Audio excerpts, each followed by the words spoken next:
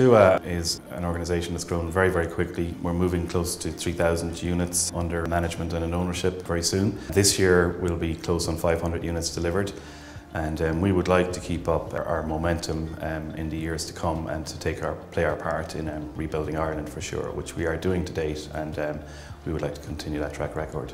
So we've delivered um, all sorts of schemes. We've delivered from your basic acquisitions of small lot sizes up to 10 units, right through to brand new constructed estates up to 70 units um, plus. We've done a number of estates this year, for example, three estates across the Dublin region, uh, 49 units, 48 units, 68 units, and it's been very successful. And that's all been um, working closely with the HFA on, on their excellent uh, interest rates and long-term fixed rates, which are, are very helpful to our business.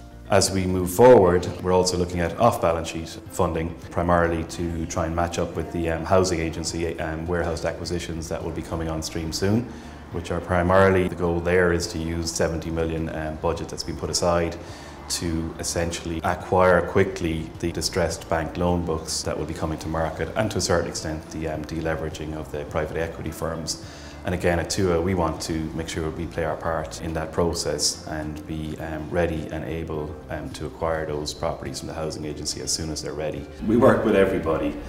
Relationships and stakeholders are key to our business, and I think our, our CEO, Sean O'Connor, uh, embeds that in all of us here at Túath. But um, it's right through from the department, the local authorities, Department of Finance, um, the ICSH, the housing agency, the housing finance agency, and then you move out to um, the private funders, we're working with those closely, um, developers, builders, estate agents, and um, we, we are acquiring homes through multiple sources. There really is no um, one way they come in, and sometimes the smallest lead can often lead to the biggest win. And likewise, on the flip side of that, we can often be working on something for quite a long time that doesn't materialise. And that's the nature of the property business, and um, we're well used to it and we embrace that.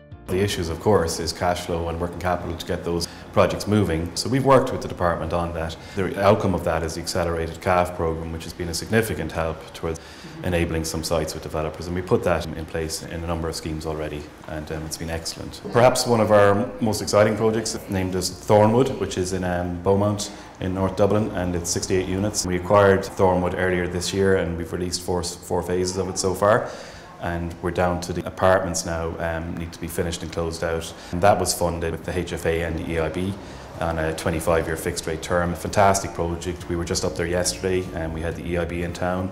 Um, they were very excited by it, very impressed by it. And we have the first tenants moved in there on the first few phases. So fantastic scheme that we're proud of and there's plenty more examples of that.